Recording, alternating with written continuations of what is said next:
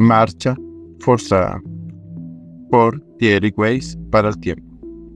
La marcha del 21 no debe ser solo de la derecha, sino de todos los preocupados por el rumbo del país. No me gustan las marchas, hace parte de mi naturaleza antigregaria, que no pocas desventajas me ha traído, pero soy así. Tampoco me gustan las agremiaciones, los clubes, los conciliábulos, las roscas, las naciones, las feligresias, las camarillas, los partidos políticos, los trabajos en grupo o los deportes en equipo, con excepción de las funciones propias de la vida familiar, la amistad o el erotismo. Le huyo a cualquier circunstancia que requiera la presencia de dos o más Homo sapiens en el mismo lugar al mismo tiempo. Adicionalmente, como dije en una columna sobre las manifestaciones de noviembre de 2019, pienso que las ciudadanías latinoamericanas le dedican demasiada energía a la búsqueda de transformaciones sociales por la vía política y no suficiente a las transformaciones a través de la ciencia, la tecnología, la ingeniería y el desarrollo de capacidades administrativas.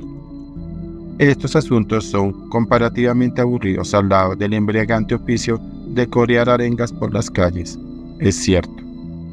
Pero me sostengo en que han hecho más por la humanidad los inventores de la máquina de vapor y la lavadora eléctrica que todos los marchantes de la historia juntos.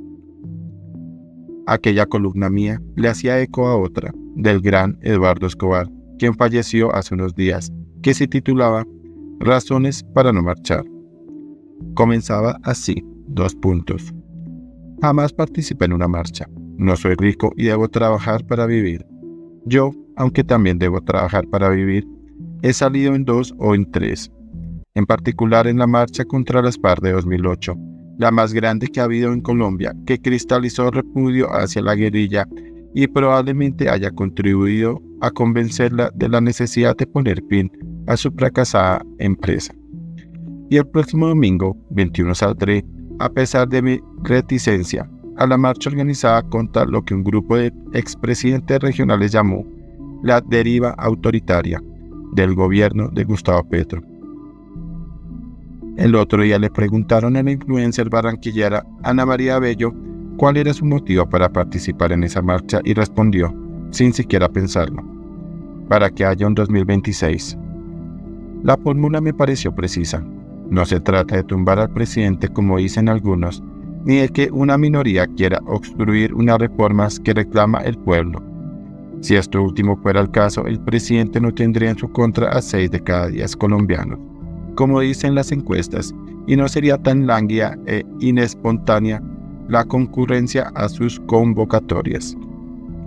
Se trata de exigirle al gobierno respeto por las instituciones, a fin de que el país llegue más o menos intacto a 2026, cuando podrá decidir si sigue por la senda radical del petrismo o si recupera lo desandado. En contra de ese horizonte, en contra de que haya un 2026, se levantan varios obstáculos. El posible colapso del sistema de salud, que detonaría una gravísima crisis social.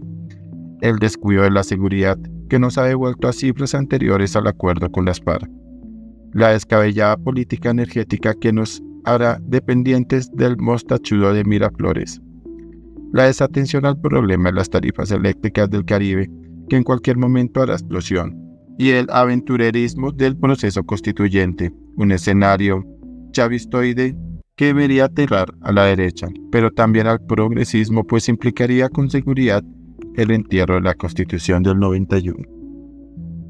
Por estos motivos, esta no puede ser una marcha solo de la derecha, sino también del centro y de la izquierda. De todos los que rechazan el rumbo que sigue el país, e incluso de quienes como yo, les tenemos alergia a las manifestaciones.